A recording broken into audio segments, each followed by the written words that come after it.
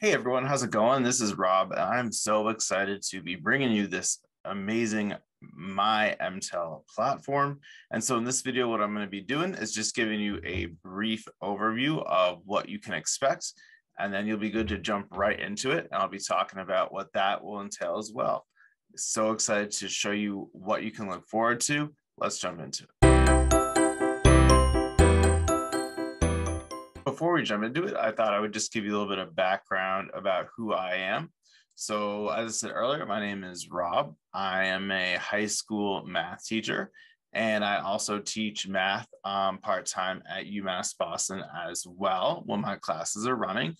Um, and I'm really passionate not only about math, but also about technology and coding and teaching. And I have built this platform from scratch using my skills with coding so it really will give you a personalized experience all right? And just like you guys i took the mtel and i was able to in doing so and in practicing as a math teacher really develop a lot of good strategies that i hope that we can work through together as we navigate this newer mtel math 63 all right so let's take a look at that online platform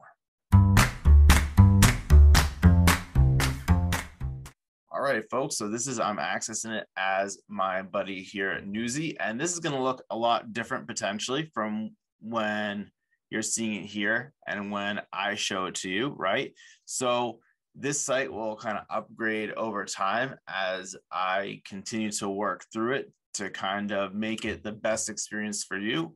And I kind of ask that you be patient and work with me through this process and let me know if there's anything I can do to make it better right? As you can mm-hmm. see on the left, this is really designed with these 13 steps, kind of taking you through the process from really the beginning where I get to know you until the end when we're getting ready to take the MTEL.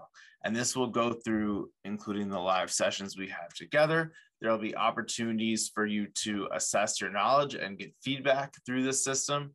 And as you can see, there'll also be opportunities for you to learn and grow.